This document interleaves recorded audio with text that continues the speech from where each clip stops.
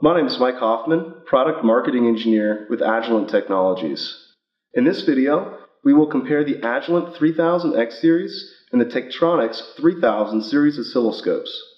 We'll look at usability, update rate, memory, and system architectures of each scope. Let's begin. Let's look at the Agilent 3000X series. First, let's maximize the use of the scope's 8-bit digitizer. 8 bits translates to 256 discrete voltage levels on screen, so for the highest signal resolution, you want to use all of them. If you find yourself stuck between scales, Agilent offers a fine mode, which is enabled by simply pressing in the vertical control knob. You can use the same fine mode feature to change the time base by pressing in the horizontal control knob.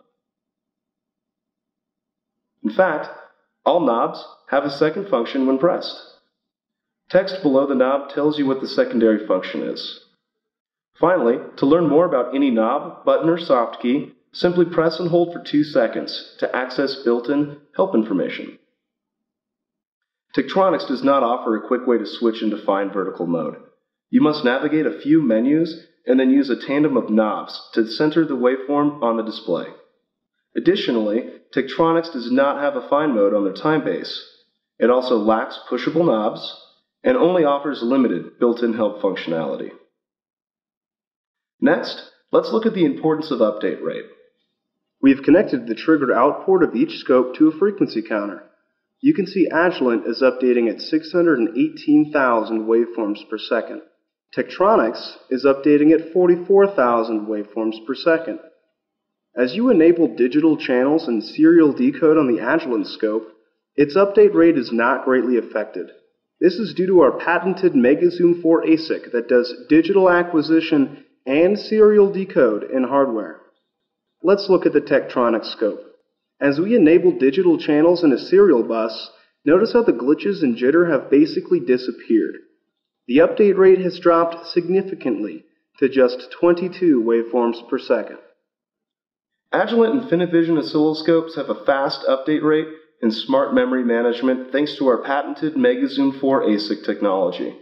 Alternatively, Tektronix utilizes a CPU-based architecture, which is why turning on digital channels and serial decode will slow down the system. These extra features should help you find problems, not hide them. To learn more about capturing glitches using fast update rate, watch our extended video or download our oscilloscope waveform update rate application note for a more detailed analysis. Next, let's compare the memory architectures of each scope. The Tektronix 3000 can optionally have up to two and a half times deeper memory than the 3000X series. But deeper memory is not always better. Tektronix defaults their memory depth to just 10,000 points, and it must be adjusted manually by the user because of their trade-off between memory depth and update rate. InfiniiVision scopes handle memory depth automatically to keep performance high. Additionally, Agilent uses smart memory technology to capture only the information you're looking for and ignore irrelevant data in between. We call this segmented memory which is not offered in the Tektronix 3000 series. Learn more about segmented memory in our segmented memory video. For more information on the InfiniiVision 3000 X series oscilloscopes, contact your authorized distribution partner or visit our website. Thanks again for watching.